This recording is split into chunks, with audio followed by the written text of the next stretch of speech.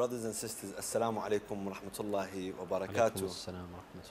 Welcome back to the show where we celebrate the birth of Imam al Jawad, the son of Imam al Rada, peace and blessings be upon them both.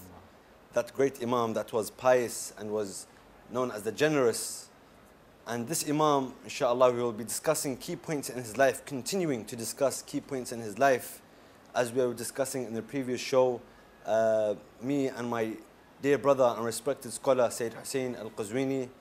Um, and inshallah, tonight we will continue on the discussion. I believe yesterday, uh, the, the previous show, we spoke about um, how he got his imama at the age of eight.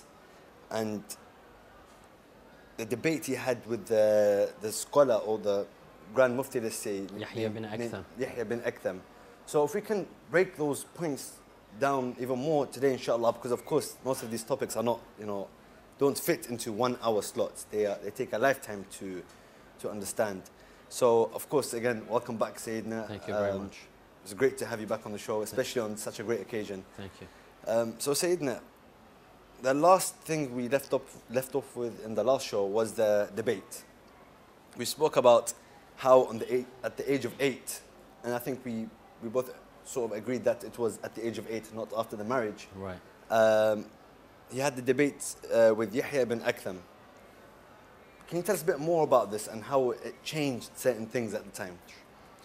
أعوذ بالله من الشيطان الرجيم بسم الله الرحمن الرحيم الحمد لله رب العالمين وصلى الله على سيدنا محمد وآله الطيبين الطاهرين Historians tell us that uh, perhaps Imam al-Jawad was brought to the court of the Khalifa and debated more than any other Imam. Why? Because he was such a, at, at, at such a young age. And despite his age, the Shia still followed him. They still believed in him. Um, the Khalifa at the time, who was um, who was Al Ma'mun, and then Al Mu'tasim, the last two years of the life of uh, Imam Al Jawad, they wanted to embarrass the Imam. They wanted to, you know, get him in a debate Where he would lose. where he would Yeah, lose. where he would lose, yeah. Academically, he would lose. So that they would say, see, that's your fake Imam. And they thought it would have been easier, seeing that's an eight-year-old. He's an eight year old, so, and they have them, on one hand, he's an eight year old. On the other hand, they have Yahya ibn Aktham. T- to them, he's the Grand Mufti. So mm. they thought it's going to be a, a piece of cake, so to speak. In the last episode, we mentioned a couple of those debates, and I'd like to mention one now before we move on Sure. to uh, the other segment. During the time of Al Ma'mun, and while Imam al Jawad was in Baghdad, a, uh, a thief was brought to the court of Al Ma'mun. They, they caught a thief. And as the Quran says, السارق والسارقة فاقطعوا أيديهما. a thief, whether male or female, has to lose his hand. However, hand is a, is a loose term. Where is the hand? Yed. Is it the palm? Is, it, the palm? forearm? is it the is it from the elbow? Is it from the shoulder? Sure. Um, because this is all the, the yeah, it's called a essentially hand, Yeah. especially in Arabic. yeah. In English, hands usually mean this part. Just yeah, the wrist up. yeah, the yeah. wrist up. But in Arabic, when you say uh, hands, for example, the hands of Abul Fadl Abbas were cut off, while we some narrations say that they were cut off from from the elbow. Others say from from the wrist. In Arabic, hand is from from the shoulder down. So uh, Al Ma'mun faced a dilemma: where where are we going to cut off this uh, this thief's hand from? Some scholars they came and they said from the shoulder, right here. Mm. Others said from the elbow. Others said From the from the wrist. And there was a major debate among the scholars themselves. and of course, Sunni jurists themselves, they, they, they disagreed. Mm. And this is not, uh, this is not a shock. When we look at the fiqh and the jurisprudence of the Sunni schools of thought, sometimes we see them disagree with each other more than they disagree with us. in some cases, of course. they disagree with each other more than They they, have- disagree with us. Most of the time, I think that they have no basis on some of the, the, the, the rulings that they have. Right. It's, it's either based on qiyas or istihsan yeah, or yeah. uh, you know the principles that they they came up with. Anyhow, Al Ma'mun says, "Well, we have Imam Muhammad al Jawad here in Baghdad. Let us ask him." They brought him to court, and of course, he's uh, all the spotlight is on him because Last whate- resort, everyone's been debating, And- this young man. and whatever he says, it will you know, it will go against what the Sunni jurists were saying.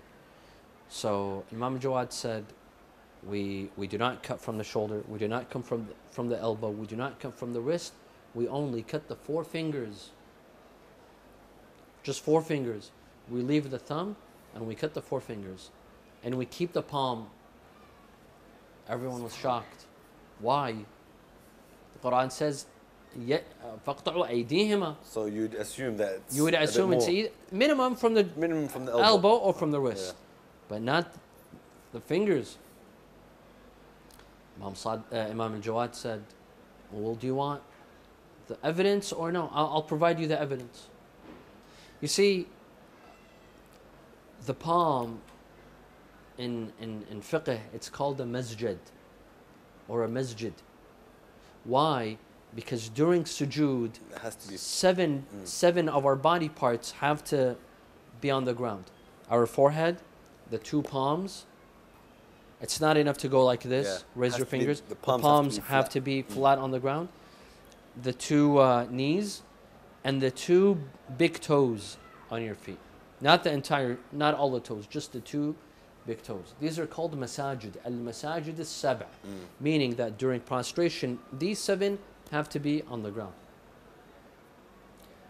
Well, Imam al-Jawad said, the Quran says, وَأَنَّ الْمَسَاجِدَ لِلَّهِ فَلَا فلا تدعوا مع الله أحدا المساجد لله how, would, how else would he pray if we were to t- cut off How else would he seek repentance for his act? How else would he pray Mm. prostrate Mm. seek repentance he has to pray by cutting off his hand from the wrist he won't be able to pray meaning we will sabotage his salah so we cut off from the fingers and al-Ma'mun took that answer and they cut off the four fingers. Of, uh, of that thief and that's how it is in our Allah, you see, even the enemies of the Ahlul Bayt, they take the knowledge and they take the advice because it's pure wisdom. absolutely So no matter how much they try to embarrass the Imam or oppose the Imam, they believed in them they believed in them. They That's- believed in them. It's subhanallah. It's we we are firm believers that whether it was Bani Umayyah or even Bani al-Abbas, but mo- Most likely Bani most Umayyah. likely Bani Umayyah, Mm. they knew the truth, and deep down in their hearts they were Shia. They were Shia in that they believed in the Imam. They knew he was a real Imam, and he's the connection between Allah. yet they and the did not want to use, lose power. It was power. It was an issue of power. They knew that the Ahlul Bayt were more deserving. They were the grandchildren of Rasulullah. They were infallible. They were immaculate. They had the knowledge. But it was the power that stopped them. You see that today as well with many of the, the, the big so-called scholars in some Muslim countries. They know what's in their books. They know what's being said. For example, the, the, the, the, the most common hadith of the Quran and the Ahlul Bayt. They know that's, that's that correct hadith in their book. Yet, so they don't lose their position and their authority and their respect, they, they go on to say, for example, Quran and Sunnah. This is one of many examples. Right. Yeah. Uh, recently, I had a debate with uh, some Sunni scholars. Some of, their, some of them had graduated from Azhar, Mm. others had graduated from other places, on the topic of Sahaba. And I, I brought several verses from the Quran that shows that the Sahaba committed sins.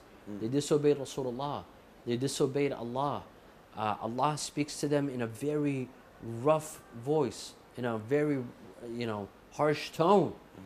They said, yeah, we know, we, we accept this. We accept that the Sahaba, some of them created al-kaba'ir, committed al-kaba'ir, Mm. some of the biggest The sins. unforgivable sins. But at the end of the day, we have to respect them. Sahaba are a red line, although they committed adultery and they drank and based, and based, and. based on what? they're A red line. line. That's what Unfortunately, a topic for another day, inshallah. Inshallah. But um, we've spoken about two of the main debates. Now, what the first one was the Ihram one, I believe we spoke about in the last show about the the muhrim that the muhrim kills, that an animal. the animal, whether it's wild or not. And then the Imam replied with all these questions. And the other debate was on the cutting of the hand. Are there any other points in the Imam's life that show his wisdom in such a way? Um, there are. There There, many, yeah, sure. there's there's plenty of conversations that he had with the various sects uh, of um, of Shia Islam Hmm. that you that know that deviated. that deviated, yeah. But I've kept this for you know Inshallah. perhaps yeah, for the third inshallah. episode, inshallah. Inshallah. We'll bring some chapters and some uh, scenes of those debates and Inshallah. conversations. Of course, this is a, a sea of, of topics we can get out of this. absolutely. Um, what we also discussed yesterday was how could we, we well we have some some sort of a hadith that shows that Imam was given Imam at, at the age of seven or eight, but how can we prove it in other ways? If you know what I'm saying. Sure. So we have certain hadith. Some state that it was eight. Some state it might have been a bit later. Um, what evidence do we have? How can we sort of pr- prove this? Sure. Um, anyone that were to hear that Imam al-Jawad was an Imam at the age of eight, Imam al-Hadi was at Imam at the age of eight, Imam al-Mahdi was Imam at the age of five, you start having doubts. What, what's going on here, right? Um, for some people, it's not very easy to accept the fact that there was an Imam at the age of eight.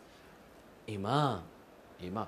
You know, it's easy for you to call someone an Imam, but was he actually an Imam? And what I mean by actually an Imam, was he a unique individual? Was the authority in his hands? Yeah. W- was did he have authority? Did he have the knowledge? Uh, did he have the credentials, Mm. the, the intellectual, the mm. spiritual, all of the credentials that are needed in imam? Did he really have them? Otherwise, we could call anyone an imam. For some, I think it's difficult to believe. That is why I want to shed light. Uh, you know, Mm. and I think it's very important Very for us. important, of If course. we're going to talk about Imam al-Jawad, this is one of the most important aspects. Of course. To prove his imamah at the age of eight. Because if we wasn't- can't, then Uh, then Other- how do we prove Imam al-Hadi or Imam Mahdi? Accent. Mm. Uh, no, and then you know, belief in him is going to be you know just out of uh, by force. By just force. because I have to believe in him. No, we don't want. We don't want to have to believe in him. We want to believe in We him. want to We want- understand. exactly. We want, we want to be convinced, Mm. not because we've been told that if you don't believe in the Imam of Imam al-Jawad, you're going to go to hell, or you're not a follower of Ahlul Bayt. We want to be convinced, and that's what I'd like to do, you know, till the end of the segment Mm. tonight, inshallah, Inshallah. to prove that Imam al-Jawad was not a fake. Mm. He was a real Imam with all the credentials. Now, and I think that if we were successful in doing this, Imam al Jawad by himself will prove the authority of Ahlul Bayt. He will prove the magnan- magnanimity and the power and the authority and the knowledge of Ahlul Bayt. Because if an eight year old had all the credentials, then imagine what Imam Ali had and what Imam Hussein had. Imagine what Imam Sadiq had at the age of 70. Mm. Um, let's let's see, you know, scientifically speaking. Let let's you know. Let, let's speak objectively. Let's pretend we're not Shia. Let's pretend right now we we're, we want to prove the imama of Imam al-Jawad not to just not just to Shias but to non-Shias as well. So let's not use a hadith for a second. No, no hadith. Mm. We're going to take a scientific Scientifically? approach. Okay. Imam al-Jawad was called an imam at the age of 8 and he died at the age of 25. 25. During this period of what we said what 17 years? During these 17 years the Shia were following him. He was their imam. Mm. No one else claimed to be an imam, historically speaking. we'll Refer to history, book, history books. Mm. No one else claimed to be an imam during these 17 years. He was the only one. They referred to him, and for the Shia, he was, he was their imam. طيب. Let's look at the various possibilities. One, uh, he was a fake. He had no knowledge. He was a regular eight-year-old child, right? and he had no credentials whatsoever. Okay, well, what about the Shia that were following him? He was a child without knowledge. This is one possibility. What about the hundreds of thousands of Shia that were following him And the scholars that were following. and the scholars? One possibility hmm. is that they were shallow as well. They had no knowledge, they were shallow, and they were easily fooled. That's putting the, the whole, a whole generation of people to the side. Let's see, is this possible or is this not possible? It's very much possible for a shallow group to be led by a shallow leader. The- We've seen this in Iraq. We've seen the person that claims to be Yamani. Uh, you know, obviously he's There are a crook. these examples. Obviously, he's a crook. And the ones that are following him, what are they, ro- rocket scientists? They're regular people that have been fooled by this person that's claiming to be Yamani. Perhaps he might get away with it. Why? Because he's an old man. But a child at the age of eight, how can he get away with it? How can he How? fool others? This is not possible. For no chance, yeah. why? For the Shia community to be shallow and ignorant to the point that they're easily fooled, that is not possible. Why? Because Imam al Jawad came after Imam al Rida, Imam al Kadhim, Imam Al Imam al Baqir. Imam al Baqir and Imam al Sadiq, they raised a generation of scholars. Scholars, of course. These were educated men. So the whole society was was educated enough to understand if, if this kid, Abs- this eight-year-old, is a is a fake. is or a fake or not a Mm. fake. The students of Imam al-Sadiq, some of them were, if they wanted to, if they had love of dunya, they could have been like Abu Hanifa, Malik ibn Taking Anas. Shafi'i, and Ahmad ibn Hanbal. They could have claimed a school of thought of their own. They had the credentials. They could have smoothly Mm. taken over, but they didn't. The, the generation of the of, of the students of Imam al-Baqir, the students of Imam al-Sadiq, the students of Imam al-Kadhim. Imam al-Kadhim, unfortunately, we don't give him enough credit. Imam al-Kadhim also had a lot of Many students. Yes. One of them was his brother, Mm. Ali ibn, Mu- Ali ibn Musa. Many of them were alive during Yeah, the afwan, Imam. Ali ibn Ja'far. Sure. But many of them were alive still during the Imam, time of Imam al-Hadi. Absolutely. And, uh, and during the life of Imam Rada and during the life of Imam al-Jawad. Mm. Where did these scholars disappear? They didn't disappear. They were in the Ummah. They were in the Shia community. Now, scholars like this, for example, a person like Ali ibn Mahziyar, Safwan ibn Yahya, Muhammad ibn Abi Umayr, these huge scholars, uh, Ali would- ibn know, Ja'far, Of course, yeah. huge scholar. You think they would be fooled? These scholars that were used to the likes of Imam al-Baqir and Imam al-Sadiq, Imam al-Kadhim, Imam- Imam al-Rada, now an eight-year-old child was leading them. They would not expect anything less. Mm. They would expect someone on the same level as the previous imams, but the difference is in age. They were not shallow. Mm. In fact, at the time, the Shia community was extremely educated. The Shia community was at the Per- epicenter of even- academic discussion. even more than now because they had the imams there and then. They had the imams. Uh, They had that direct knowledge from Allah through the imams to them. absolutely. We are having to deal with fabricated hadith through broken chains, through you know unknown sources. But at that time, uh, there's no comparison. I think right. so. Re, uh, refer to uh, Sunni books of biographies, Mm. Ilm al-Rijal, in, you know, with our Mm. Sunni brothers and sisters. Look at their books of, of Rijal. For example, al-Zahabi, He has um, a book on Rijal. Astaghfirullah. I, I forgot the name of his book. Al Dahabi is very well known Yeah, in, yeah. in Ilm al-Rijal Of course. see how he refers to the not the Ahl al-Bayt, the But followers of the Ahl al-Bayt, their students. He will, he will mention that so and so was a, a scholar, was a rawi, was a great narrator, except he was a rafidi. As if that's a you know That's a, that's a big that's a, problem. even that's a sign of pride for us. But Exactly.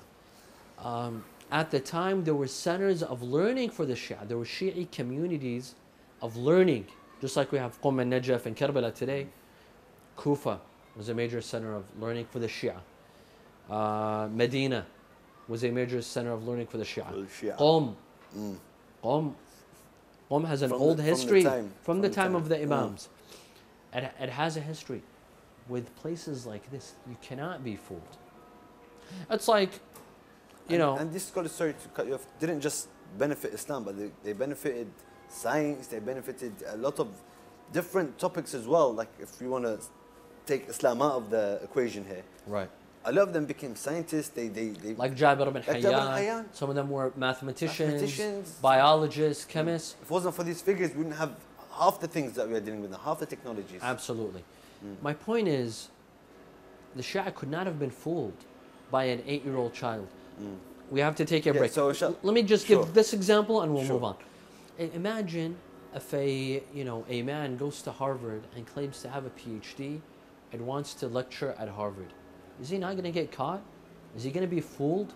Uh, is he? I'm sorry. Is he going to fool people? Or a person that that goes to Cambridge and Oxford and claims to have a PhD and wants to lecture? He'll easily get caught. Of course. You can't fool a group of scholars. scholars. How did Imam al Jawad, if he was a fake, was able to fool not for a year or two years, for 17 years? Imam al Jawad was at the hierarchy of the Shia community. How did he do it? If if there was Shala. So this is not a possibility. We'll, we'll, we'll discuss this further, inshallah, after Inshallah. a break. Inshallah. So, uh, brothers and sisters, uh, respected viewers, please join us uh, after a short break. We'll continue to discuss uh, and try to prove from a hadith and scientifically how the Imam was truly an Imam. So, join us after the break, inshallah. جواد الأئمة يا سيدي أتينا لبابك كي نهتدي جواد الأئمة يا سيدي أتينا لبابك كي نهتدي علمنا يقينا بأن الذي يبتدي تحوم الملائك طرا عليه وفودا من الباب للمرقد. علمنا يقينا بأن الذي يريد الإله بكم يبتدي تحوم الملائك طرا عليه وفودا من الباب للمرقد.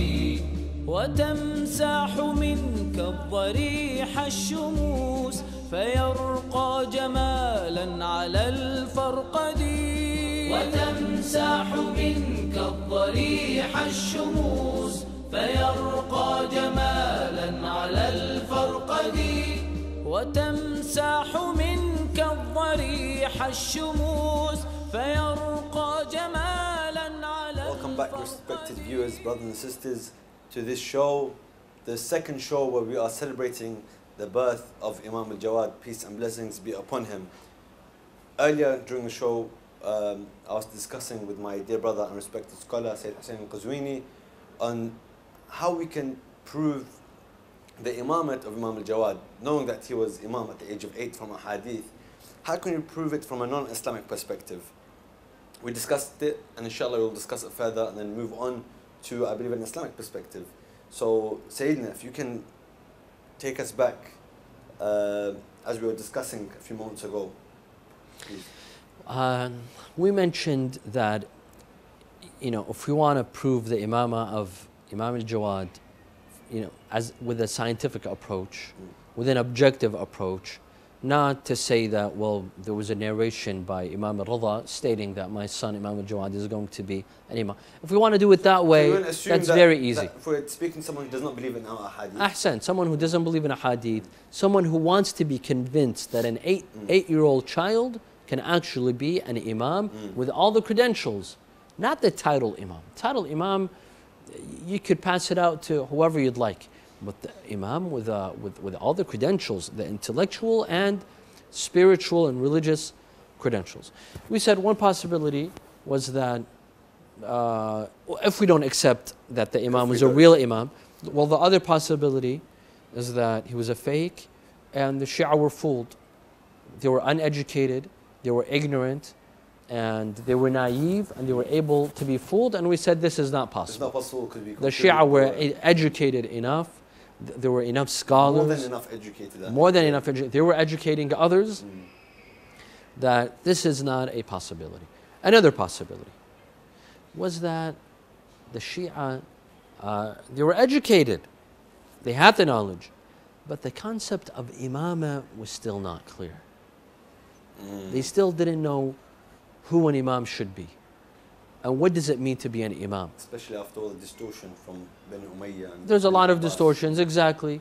You know, they saw if a person like Yazid can Mm. be an imam, and a person like Muawiyah can be an imam. Then What's the standards? So, what are the standards? Mm.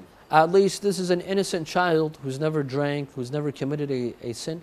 Let him, you know, Mm. let us call him an imam. If these if people like Bani Umayyah and Bani al-Abbas can be Then imams, it's easy to call it. then it then it's very easy Mm. For anyone else to be called uh, an imam. So the concept of imama was not clear to them. This is a possibility. However, we see that this possibility is incorrect as well. Why? Because what makes a Shi'i a Shi'i? What's the core difference between Shi'is and Sunnis? Mm. Was it regarding salah? Was it regarding fasting? Was it regarding uh, moon sighting? What was it regarding? It was regarding imama. The core is difference, we don't, you know, we accept the same Quran, we accept the same Prophet, we accept the same Qibla, the same God. We agree on everything except Well, the, the majority of things, and there are, I think the main thing we disagree on is the is imam, the imama. imam. Of course, The- we, we do uh, we do. I mean, some of the details we we do course, disagree on on on, But on other topics. Generally, it's But the imam is core the issue Yeah. It's imama. Imama is what makes a Shi'i a Shi'i and, and, a Sunni a Sunni. The one who accepts imama and puts imama in the asma of the Ahlul Bayt. Eh, who puts the imama in the line of Ali ibn Abi Talib and his children and believes in their asma and they, are, they have been divinely ordained, this person is a Shi'i. Otherwise, you're a Sunni. It's not just about putting titles to it. It's just It's not it's, titles. It's, a, it's the reality of who we believe Exactly. was the true leader at the time until now. Who the true leader is. Exactly. That is why the Shia, they knew who an Imam was. They knew who an Imam was. They knew that an Imam is a unique figure who has a special religious position. He's not an ordinary person. He doesn't commit sins. He doesn't think of sinning. He doesn't even commit makruh, Mm. a, a, a non recommended, a discouraged act. This is what he's spiritual. He connects to Allah. He's holy. He performs miracles. This is two. Three, he, he's on an educational level. He's on an intellectual level, Which was proven in the debates that we spoke in before. which was proven in the debates. So an imam is not a, a regular person. The Shias were not ignorant of imams. So we're saying that this option is out of the window that they This is not an option. Because they knew clearly that this was the lineage of the Ahl Bayt and they are the true Imams. And this is the correct path to, to Shafa'ah. Ahsant. They knew that the imam has to be from Ahlul Bayt, he has to be from Quraysh, he Mm. has to be from the children of Ali ibn Abi Talib. Uh, he has to be appointed by the previous imam. He has to prove his knowledge. He has to prove himself. They knew There's who an imam was. There- there- There's a set criteria that I think everyone knew. Let me give you an example. When Imam Rada died, I, I talked about this Hmm. yesterday, the story, that uh, people gathered in the house of Imam Sadiq. Abdullah bin Musa, ibn Musa bin Ja'far, Abd, uh, Abdullah, the son of Imam al-Kadhim, the brother of Imam al-Rada, he came out and he sat in the middle as if he didn't say with his own tongue. as if to say that He's giving an impression that I am the Imam. One of the narrators, he says that I came inside the house of Imam Sadiq and I heard people whispering, you know, talking, that he, he, he's not the Imam for sure. Why? Because two brothers cannot be Imams, except Al Hassan and Al Hussein. It was in the minds of the Shia, they knew that the only case in which two brothers were Imams were Imam Al Hassan and Imam Hussein. Otherwise, two brothers will never be imams. It's always from one fa- from father, Father to son. son to grandson, and so on and so forth. This shows that they were on a level that they knew the conditions of imamah to the point that they knew the specific detail that two brothers cannot be imams. Hmm. When we look at the life of the Ahlul Bayt, they knew who, who an imam was. They would ask the Ahlul Bayt, "Will you appoint uh, will unite. It's not like they were in a distant land. They were around the Imam. They, they spoke to the Imam all their lives. They, they were brought up under the direction of the Imam. So this stuff would have been made clear sooner or later. Right. Um, Some assumed that the Imam has to be the eldest son, mm, for example. The Imam corrected them. mm. Thus, they had an impression of who an Imam was. Not, you know, not anyone could Mm. come and fill the shoes of an Imam and claim that he's an Imam. So this, this is not possible. This, uh, this is not possible to say that, well, the, the, the Shia at the time, the Shia community was ignorant They of the stage of an Imam. Mm. And Imam Jawad could have easily filled that position because they didn't know. It was a, for you know for them it was a symbolic position, Mm. just like, just like monarchs today. Mm. It doesn't matter because there's a prime minister today in the UK, We have a prime minister and a, and There's a whole- prime and minister- whole cabinet of government, and there's there's a parliament. parliament. Yeah. If the queen dies and the prince dies and there's a small child, a three-year-old child, they don't mind making that child what king, right? Because he's not really going to to lead. There's a It's more the- symbolic. It's a symbolic position. Everyone knows that the king is a symbolic position. Let it be a one year old child. There's no big deal, right? Were the Shias like that? That's impossible. That's impossible. History has proven, we have enough evidence to suggest that the Ahlul Bayt, they knew who an Imam was and what Mm. it meant for, for a person to be an Imam. Um, so that's two options. that's two options, mm. and we've crossed them out. A third option is that the Shia community, they realized that the Imam was a fake, he was just a child, he had no knowledge, and they were okay with it. Because they were Shia and they did not want to admit the truth, and their loyalty to Ahlul Bayt was blind loyalty to the point that even if it's an eight year old child, a fake imam with no credentials, wanted to lead, they were okay with that. Mm. Basically, they accepted a fake They imam. They accepted whatever came out. They would accept it Yeah. because they believe that they don't want to show the world that they were wrong about the Ahlul Bayt. You could say. Right. Y- You could say, uh, you know, they were like a political party. Mm. You know, in some countries, a political party will back their candidate No matter what. no matter who he is.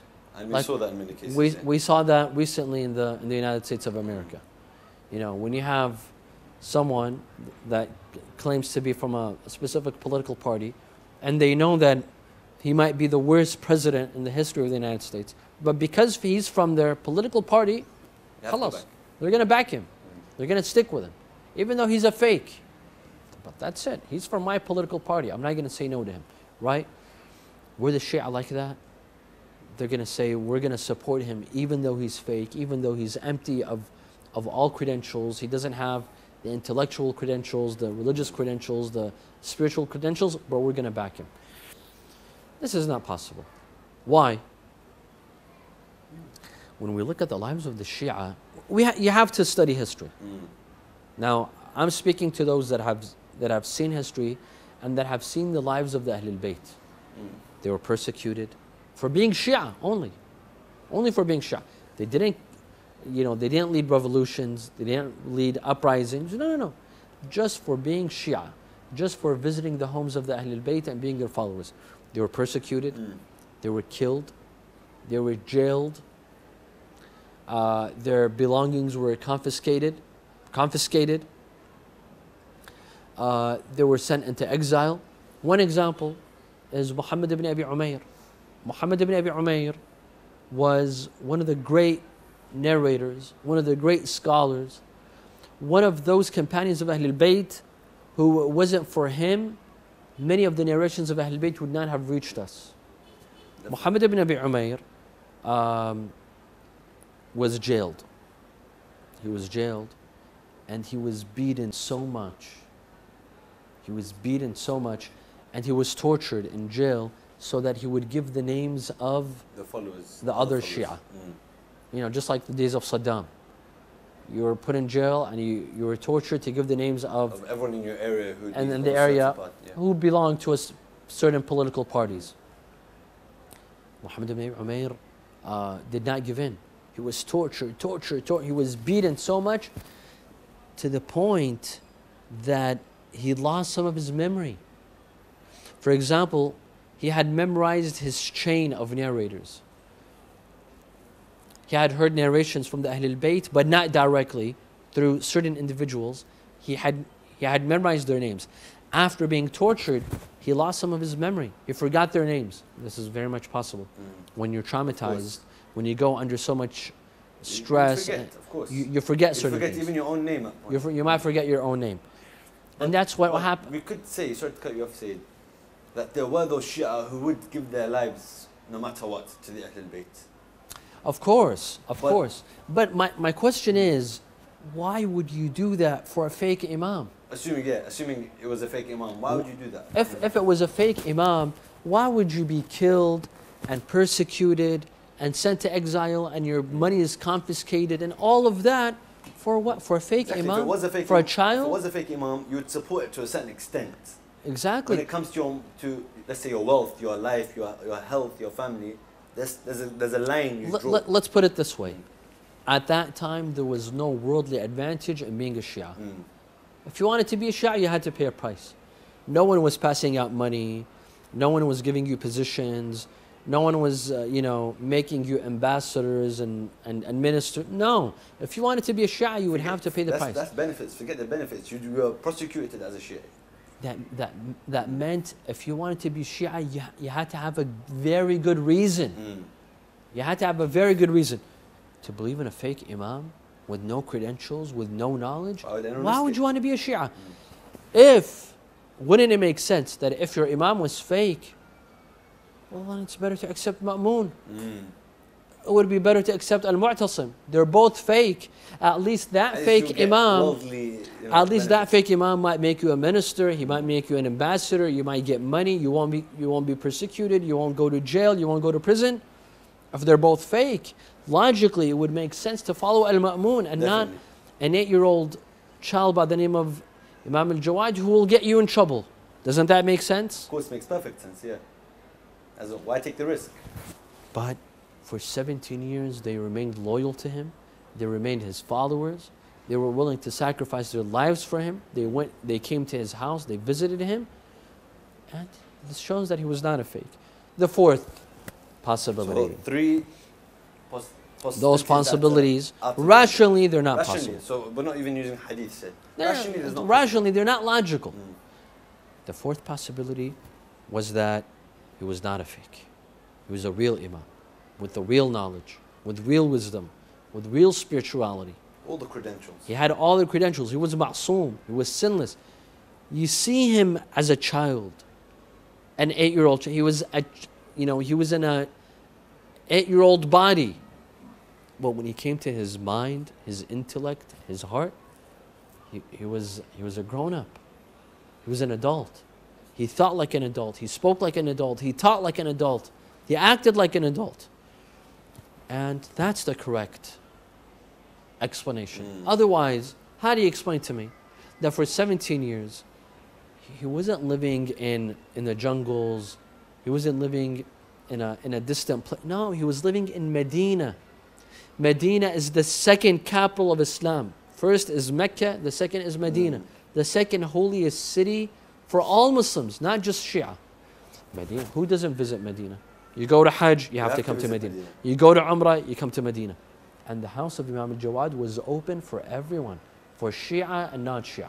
Imagine the amount of people that would come and visit the house of Imam al-Jawad and meet him. Mm. Do we have a single person in history that says he was a fake? That I came and I met the Imam of the Shia, but he was an embarrassment. He couldn't answer my. qu-" Not even Al Ma'mun could do that. And, and, and, and, and I will mention that. I'll emphasize that. Imam al-Jawad was at the, at the core of Islam. He was in the heart of the Islamic community. His door was open. People would come in, go out. You know, the Imam was not leading an underground movement. For example, this Yamani guy, have you seen him? Mm. No, no one's seen. No one has seen him. You just see a few videos here and there on YouTube. Just a couple of videos, and that's it. No one has met him. No one has heard of his lectures. No one has seen books. No one has seen anything about him. It's an underground movement. You could easily fool people. Mm. If it's an underground movement that no one sees, you could easily. This Abu Bakr al-Baghdadi guy, who has seen One appearance, gone. one appearance, he stood for Friday prayer, he gave a sermon, and he disappeared. Mm. And these idiots, the followers of ISIS, they all think he's the Khalifa of the Muslims. Why?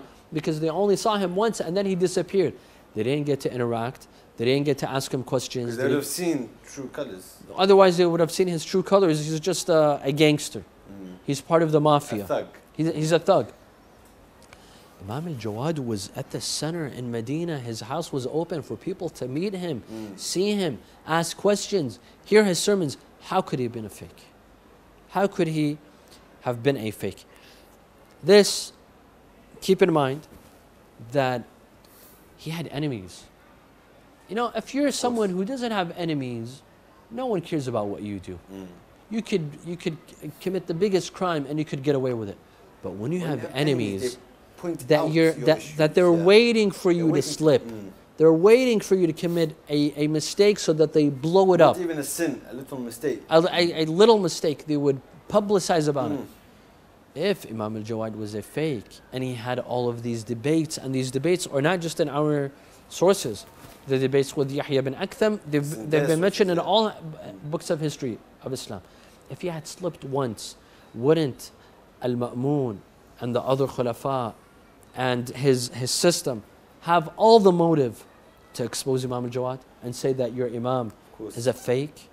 That he's empty of all of all credentials. He has no knowledge. he has, so clearly he did not slip up, which means which means that he was a real imam. Mm. That he was an ordained imam. That he had all the credentials. And this is this is not uh, you know. It's not something shocking, right? I could Mm. give lots of examples from history. There were, you could call them miracle childs, children that had great intellect. They were smart. They were intelligent. They have great IQs, right? That have the potential to lead. And you will, you'll find them in a lot of Plenty. countries. plenty. In America. In America. In the West.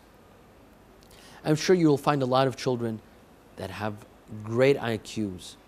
Uh, that can, you know, that start college and they're at many, yeah. 10 or 11 years old. many, many. say, Th- cases They're bright children. They're miracle children. They have great memories, and they're intelligent, and they're they have the ability to accomplish and contribute Mm. at young ages. In our Islamic countries as well, There are many. we have a lot of examples of children that memorize the Quran at the age of four, age of four, five. uh, unbelievable. That's when you first start speaking. Not just memorize the Quran, they're able to answer you from the Quran. Whatever, whatever question you give them, they answer you from the Quran. You ask them about a specific verse, they'll tell you it's in this chapter, This page in this page, uh, it's on the right side or on the left side. We Well, have gifted children. All this, what surprises me is we have all these examples in front of us. When it comes to the imama, We say it's impossible. we say it's Why? impossible, you know, this is not right. We have the certain khalifas of the time, we have the, it doesn't make sense. Um, I'd love to continue with this topic, Sayyidina. It has been a very, you know, very important topic to speak about. We've learned a lot from this. Inshallah, we'll continue in the next episode. Uh, again, Inshallah. it's been an honor to have Sayyid Hussein Al Qazwini on the show with us. It's been great to have you, dear viewers, watching, and inshallah, we'll continue in the next episode celebrating the birth of Imam Al Jawad. On that note, thank you very much for viewing, and Assalamu alaikum wa rahmatullahi wa barakatuh.